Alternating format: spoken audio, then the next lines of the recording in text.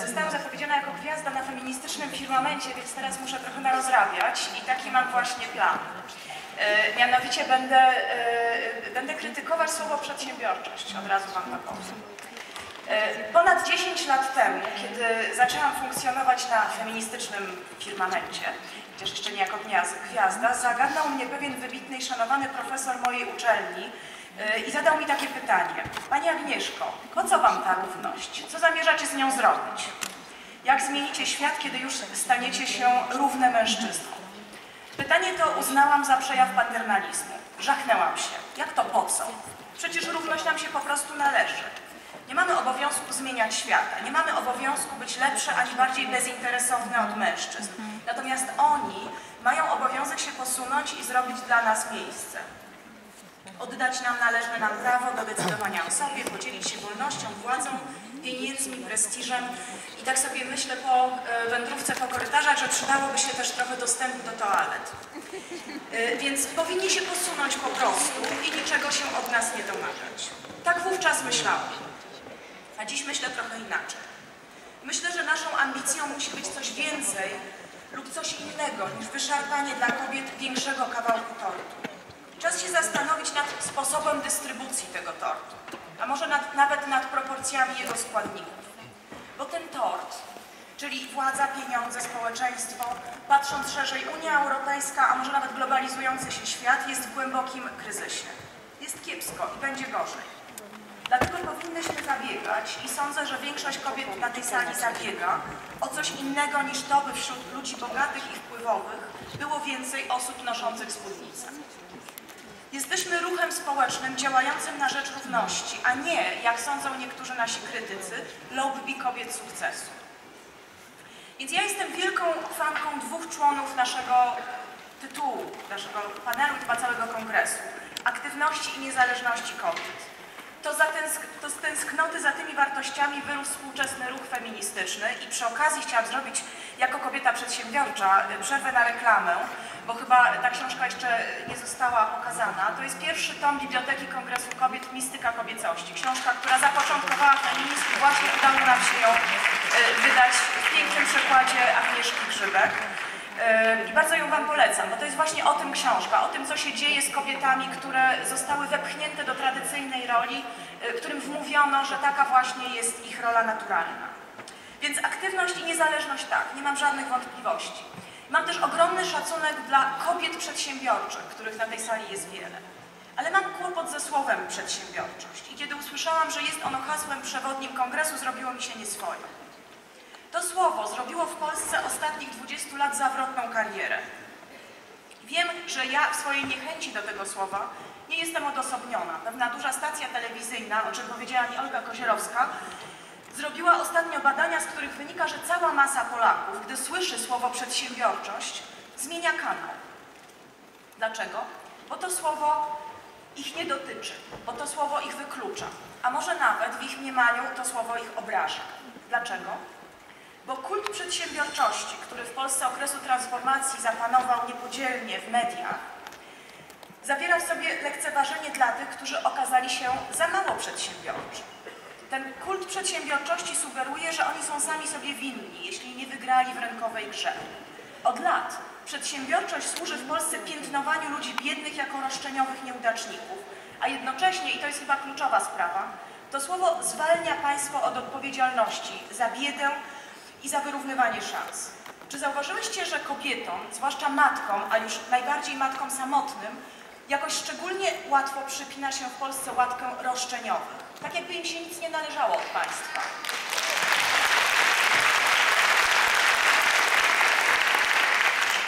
Bo zgodnie z tą logiką, z logiką kultu przedsiębiorczości, państwo ma ułatwiać życie przede wszystkim, a może wyłącznie przedsiębiorcom.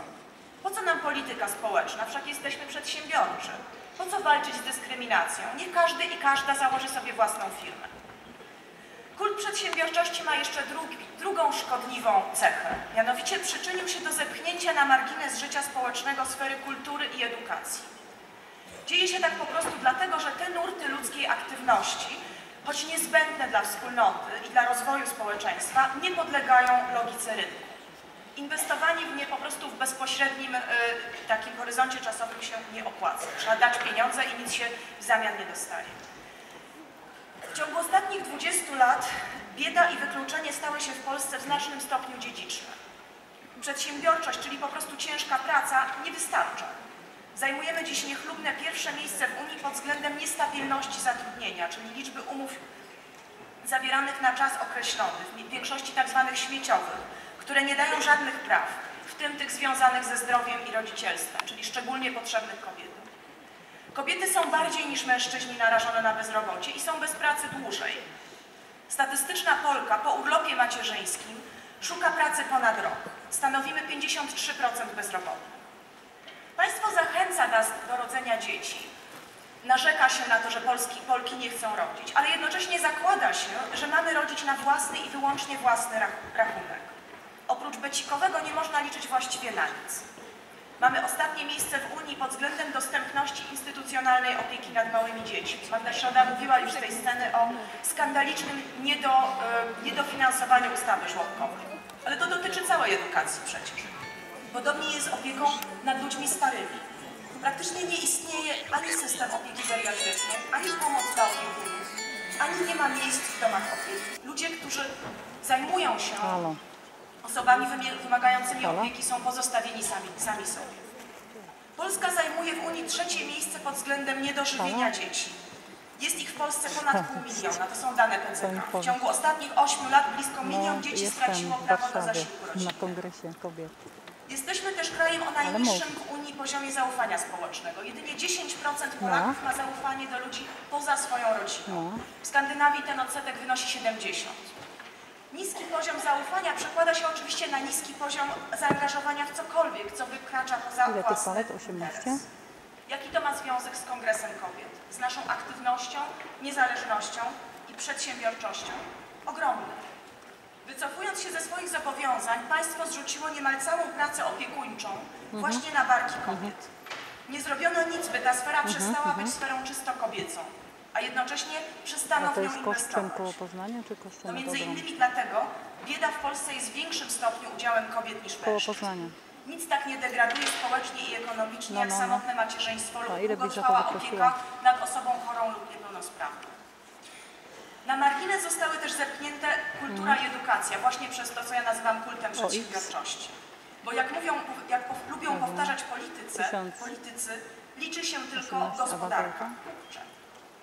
Więc kultura Jaka i waga? edukacja to sfery, w których pracuje znacznie więcej kobiet niż mężczyzn. Nauczycielki, bibliotekarki, pracownice instytucji kultury i sztuki. Z punktu widzenia polskiej transformacji, No, no, tej, tego kultu przedsiębiorczości, to są osoby przegrane. Okazały się za mało elastyczne, za mało No, no, kreatywne, za mało dyspozycyjne. No, trzy Czy to właśnie ma im do powiedzenia 300. Kongres Kobiet? Czy może będziemy walczyć Ja o wiem, dowartościowanie myślę, ich pracy i sfery, 1400. w której pracują? 50, Nie 1000, ukrywam, 1450 myślę. Tak, tak, tak. 1500 to jest max. Nie ukrywam, że bardziej od losów kobiet przedsiębiorczych, właścicielek firm czy kobiet na wysokich stanowiskach menedżerskich porusza No. mnie sytuacja kobiet wyzyskiwanych w specjalnej strefie ekonomicznej Teoretycznie mogłabym, tylko żeby to nie był taki szybki termin dostawy, bo ja bym sobie coś do tego doładowała, bo tym nie Protesty w fabryce Chung Hong, których y, uczestniczyły zresztą feministki z, z think tanku feministycznego, czy kobiety, których rodziny podlegają Do brutalnym eksmisjom w Warszawie i Poznaniu, czy wreszcie sytuacja pielęgniarek i bezrobotnych absolwentek uczelni. No, no, no. Wolałabym, żeby więcej tutaj o tych kobietach No mówiono. A jednak nie Dobra, uciekłam możesz od dzwonić. słowa No, no. Postanowiłam poczekać, co będzie dalej. I trochę nadal czekam. Mam wielką nadzieję, że ten kongres będzie promował aktywność, przedsiębiorczość i niezależność definiowane inaczej niż w kategoriach rynkowych. Cieszy mnie, że ten kongres skierowany jest przede wszystkim do kobiet z małych miasteczek i ze wsi. To o Waszą aktywność i niezależność tu chodzi. O lokalne inicjatywy, o samorządy, o organizacje pozarządowe, o Wasze działanie na rzecz społeczności, w których żyjecie. O walkę z biedą i wykluczeniem. Cieszy mnie też, że kluczowy postulat, pierwszy, i tu już jest, e, zdradzam coś, co zostanie dopiero ogłoszone pod koniec kongresu, ale ja to wiem z maila od Magdy Środy, że kluczowym postulatem e, naszego kongresu będzie sprawa związana z edukacją i opieką właśnie. Mianowicie domagamy się stworzenia sieci wiejskich centrów Myślałam, że go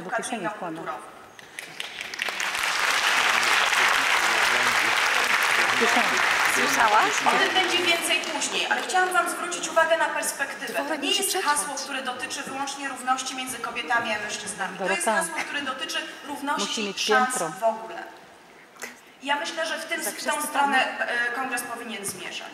Słuchaj, Nasz panel ma jasny cel. Cel Mamy się wyższy. zastanowić wspólnie, co się z nami, kobietami, dzieje, gdy wchodzimy w męski, przynajmniej dotychczas męski, Filipa świat przedsiębiorczości i nie boimy się tego słowa władzy. Na ile podlegamy regułom tego świata? Jakie po drodze pojawiają się przeszkody? Czy czujemy się winne, porzucając tradycyjne kobiece role? Ostatnio pewna, pewna pani w telewizji oskarżyła nas, czyli feministki, o to, że przez nas kobiety przestały sprzątać. Ja się osobiście nie czuję winna za bałagan w cudzym domu. W moim panuje znaczny, może rzeczywiście winny jest feminizm, ale o tym też warto porozmawiać. Czy udaje nam się łączyć te tradycyjne funkcje z tymi nowymi, a może udaje nam się namówić naszych mężczyzn, żeby posprzątali? To wszystko są bardzo ważne pytania. Ale pomyślmy też o tym, co chcemy w tym męskim, a teraz już nie tak bardzo męskim świecie zmienić. Mówiąc o równości płci, pamiętajmy, że nie tylko płeć jest źródłem dyskryminacji. Nie wszystkie mamy takie same możliwości, by korzystać z szans, o które walczy feminizm czy ruch kobiecy. Podczas pierwszego kongresu kobiet mówiłam z tego miejsca, że czas urealnić kobiety. Jednak po to, żeby je urealnić, musimy najpierw zrozumieć ich doświadczenia, zobaczyć w jakich warunkach żyją, z jakimi problemami zmagają się na co dzień.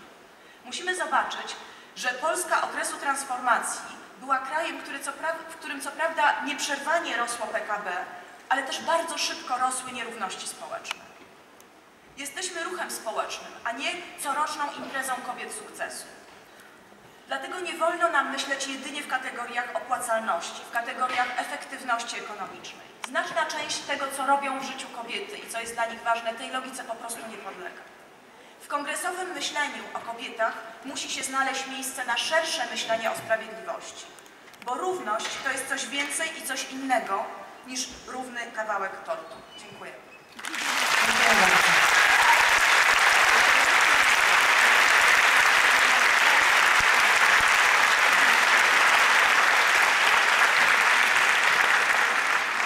Dziś będziemy jeszcze odczarowywać słowo przedsiębiorczość, ale zanim to nastąpi, zastanowimy się nad słowem niezależność. Pani Solange Olszewska, co to słowo oznacza dla kobiety? Niezależność. Pani Olgo i drogie Panie, ja chciałabym jednak od czegoś innego zacząć. Dobrze, że Państwo wybrali takie osoby, które są zupełnie różne. Ja jestem ogromną fanką Pani Agnieszki Graf i właściwie dzięki jej książce Świat bez kobiet zaczęłam się interesować e, problemami, o których Pani Agnieszka teraz mówiła, ale oczywiście się absolutnie nie zgadzam z tym, co ona mówi i może byłoby dobrze, e, byłoby dobrze, żebyśmy, żeby Pani trochę więcej z przedsiębiorczyniami rozmawiała, e, tak jak my jesteśmy fankami Pani i Pani literatury. Ja chciałabym zacząć, Pani Olgo, jeśli Pani pozwoli, od tematu, o którym mówiłyśmy wcześniej tutaj, a mianowicie od żłobków i przedszkoli, bo to się wszystko wiąże z niezależnością. Chciałam, chciałabym poprzez Panie, które tu są, zaapelować do wszystkich przedsiębiorczyń przedsiębiorców, żeby nie tylko czekali na to, żeby państwo coś założyło, tylko żeby sami zakładali żłobki i przedszkola, bo to jest możliwe.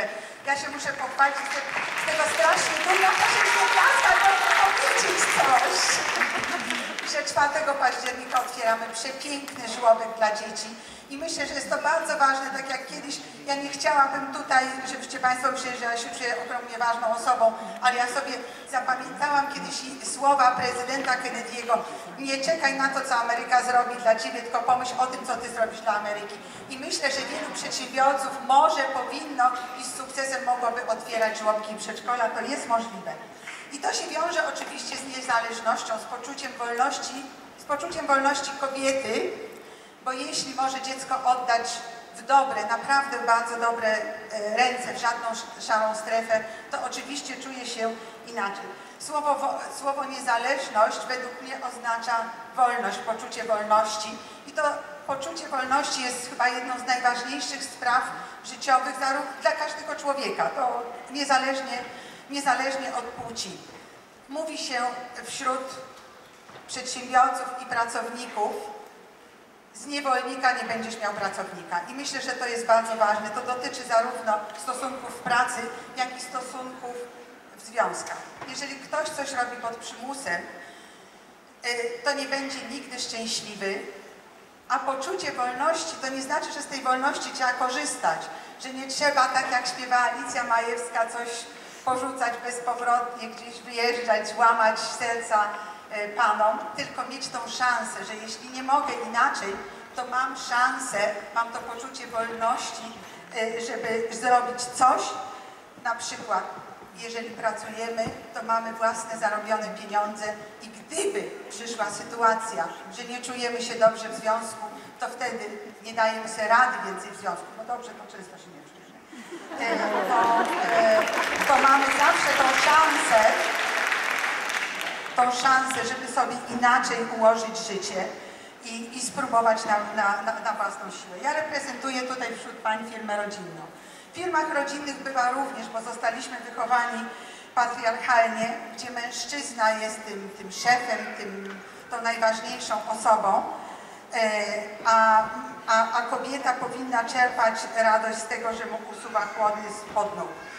I jeżeli nie będziemy miały tego poczucia wolności, to będziemy sfrustrowane albo po prostu bardzo, bardzo nieszczęśliwe. Dlatego musimy mieć tą szansę zarabiania własnych pieniędzy, tą szansę czucia się wolnym, bo wtedy będziemy też o wiele szczęśliwsze zarówno w pracy, jak i w związkach. Pani prowadzi firmę z mężem, ale to pani jest prezesem. Słucham? Pani prowadzi firmę z mężem, ale to pani jest Oj, prezesem. teraz, teraz, ale było zupełnie inaczej. To będzie chyba to drugie Pani pytanie. E, W każdym razie musimy zadbać o to, żeby mieć nie tylko równe obowiązki, ale również równe prawa, bo tylko wtedy będziemy mogły mieć to poczucie wolności i to właśnie oznacza dla mnie słowo niezależność.